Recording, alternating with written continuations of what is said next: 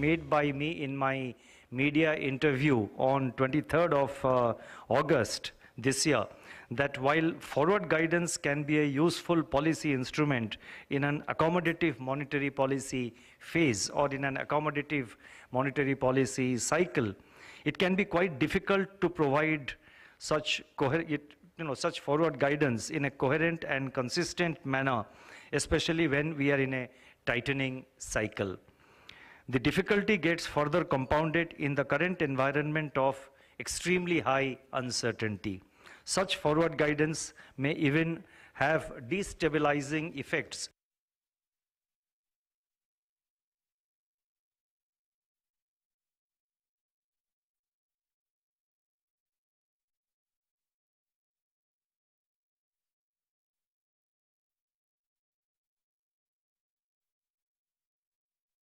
on financial markets, especially if the subsequent expectations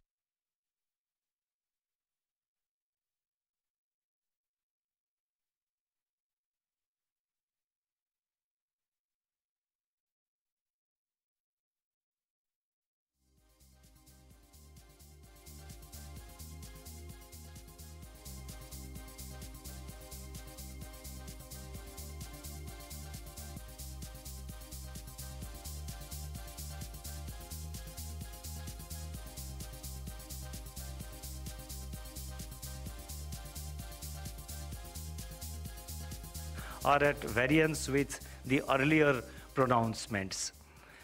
Volatility, especially in times such as now when global tensions and synchronized monetary policy tightening come together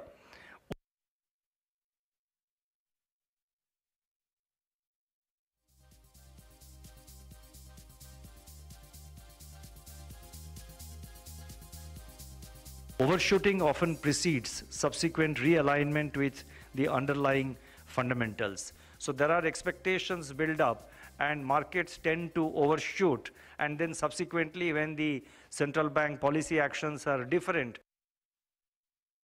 or when there is greater realization of the actual state or the actual uh,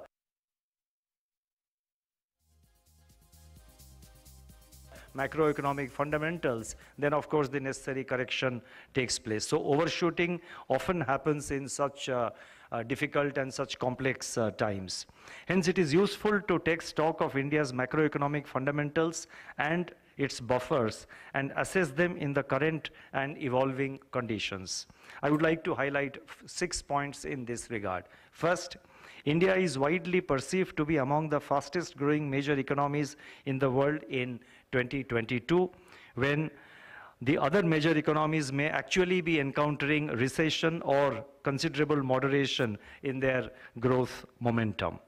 The favorable growth differential of India provides confidence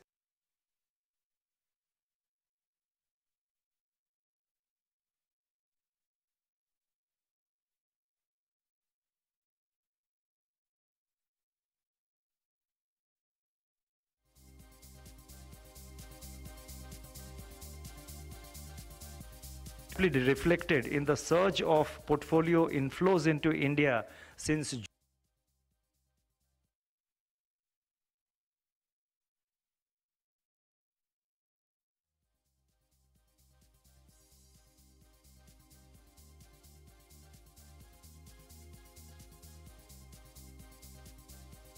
eased the terms of trade shock that India faced in the aftermath of the pandemic and the war in Europe. With the consequent easing of imported inflation pressures, India's C per barrel has turned out to be lower than what we had assumed for the full year.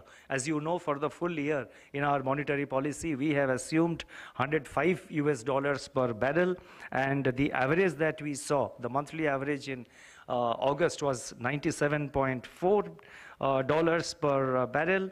And so therefore, that is another positive factor to be noticed. And uh, in fact, India's inflation is currently lower than number of partners. Third, the shift in the commodity price outlook is also altering the assessment of India's current account deficit in 2022-23, that is in the current year, which is now expected to remain well within sustainable levels.